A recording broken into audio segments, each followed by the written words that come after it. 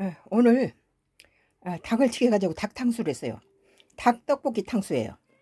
예, 탕수 소스를 만들 때, 음, 그 토마토랑 자색 양파랑 넣어서 탕수 소스를 만들면서, 어, 여기다가 이제 떡볶이를 좀 넣어서 말랑말랑하게 소스에다 만든 다음에, 이렇게, 에, 닭, 닭에다 끼얹어서 닭, 닭탕수를 했어요. 아주 맛이 좋네요. 아, 음, 아주 맛있어요. 쫄깃거린 탕, 탕수도 바싹하게 잘 튀겨진 어, 치킨에다가 음, 또 이렇게 떡볶이 탕수니까 단백질하고 탄수화물도 섞여서 자색 어, 양파하고 어, 여러 가지 토마토를 토마토가 불을 닿으면 더 영양가가 높아지죠. 어, 아주 맛 좋은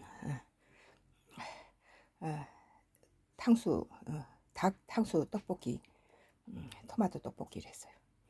음, 음, 아주 맛있네요. 음, 기가 막혀요. 음.